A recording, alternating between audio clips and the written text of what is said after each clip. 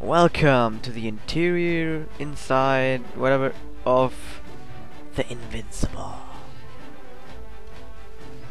Now, is, now Yuna's gonna play, explain you this whole airship because this airship is not just the airship you fly around with. You can also enter this ship and take a look around and stuff. These are stairways to the surface if you wanna if you wanna leave. And this airship will be in the air all the time. And to board back in, you just gotta stand in the shadow and then get back in. Now that's how we fly over high mountains, but first you said highest mountains, now it just says high mountains, but it's still not gonna fly over mountains, you're just gonna fly on these little rock things. Whatever. Now, as you see, we gotta press A and then we can fly over there. It's very very slow, so yeah. Now if you press B while flying, you just can can go back to the inside and do some stuff, and then leave the ship if you wanna. And just go back to flying if you want to. There's some other stuff around here. Now that's the interesting thing. There's shops near because it's it's not like these like super duper shops. It's like some magical machines you put Gil in and then you get stuff out and stuff. And yeah, there's a fat chocobo. So if you have not encountered the fat chocobo uh, before at one of the chocobo gardens, or just use the Gysahl Greens on the tree, you get you get your own one now. So you can always carry a fat chocobo around with you which we don't really need because no one in this Tyrell will ever need to because it's so useless. Whatever. He's also going to go now. We have to go to the cave which has no armor and recover the Fang of Earth and good thing I know where that is. After that we get to Doga's Manor. And you know what that actually means? It actually means we're close to the very end of this game actually. Sounds like our adventure just started, but no. It's already coming to an end. But it's still gonna take like 10 more episodes or like 20 because the very last dungeon is like so damn long like oh my god. So uh, the last dungeon itself will like take like 15 episodes or whatever but whatever. Also, there's the optional stuff will also take like 5 more episodes, and to just get to the end will also take like 10 more episodes, so 5, I don't know, I don't know how fast I can do this. Well, let's just get some stuff. Can get all the level 7 spells, which we already have, so it's pretty useless. Let's see what kind of weapons we can get arrows, knife, axe, lance. Useless! Woo! Yeah, if you have a thief, you might want to get the knife, but else, no. And as you see, these ones also just like sells the stuff that we already have. Also useless.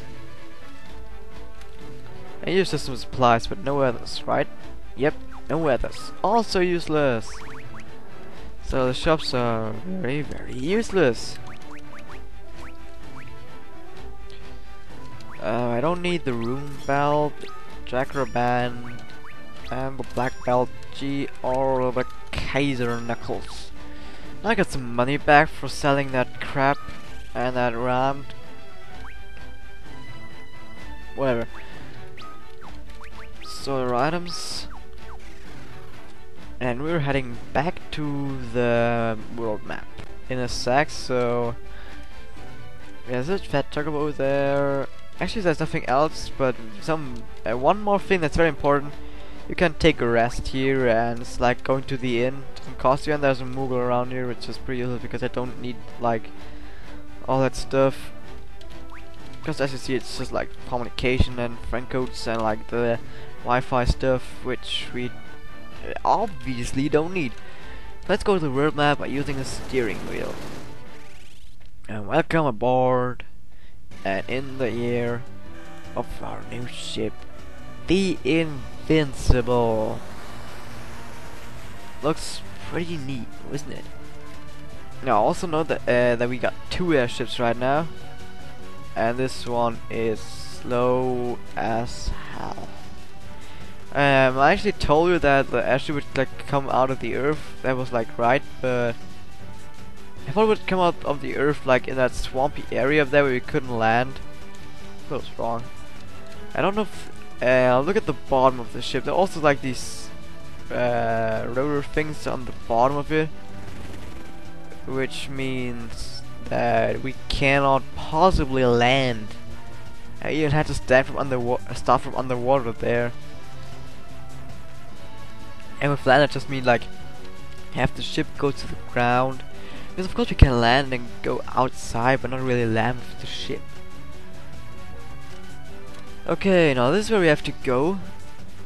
Now see this? These little, these little tiny, tiny little mountain areas. We can get across them.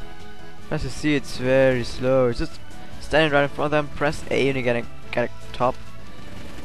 Whoops. This whole thing is like a maze, which is very annoying.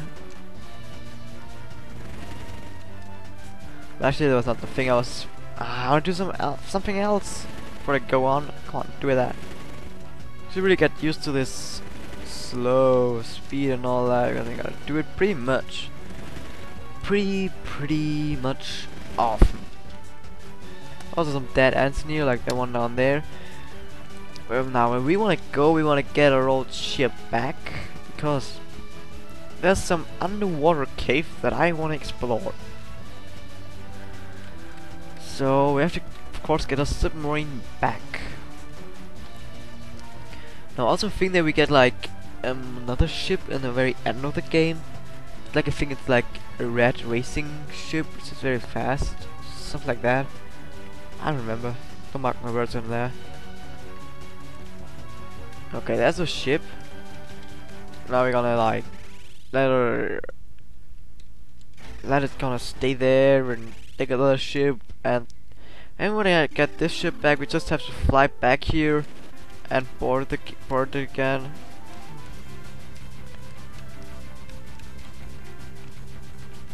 Now let's save first, and then let's head to that um, underwater cave. Wanna go now?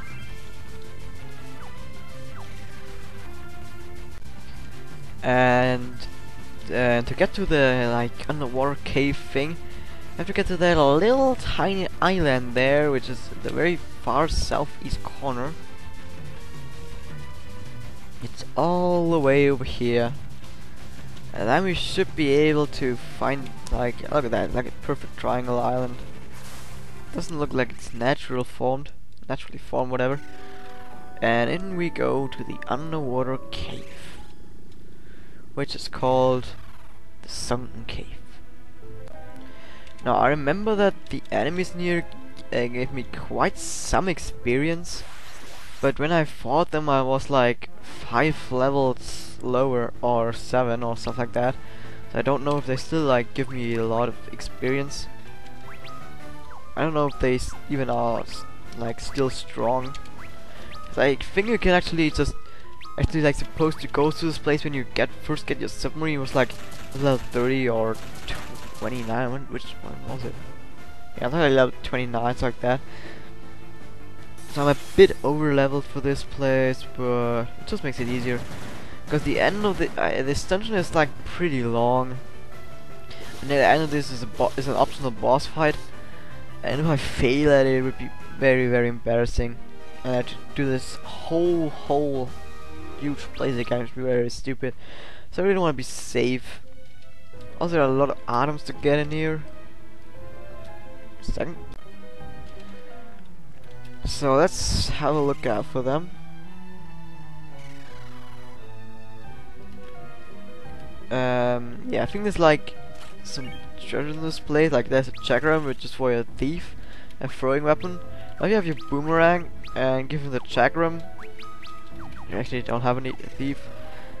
And if you give him the chakram, you can throw it, and together with the boomerang, you got two throwing weapons, so you can just put him in the back row and he's still gonna do max damage. And here we have Tiger Claws, which could be actually better than these uh, wind uh, uh, damage dealing ones, the Wyvern Claws, and they are. Which brings our attack even higher. It already is high as hell. Uh, fight. Oh, some mermaids, whatever. What are they? Sea witch. Of course, it can't be just like these friendly mermaids. No, that's sea witches.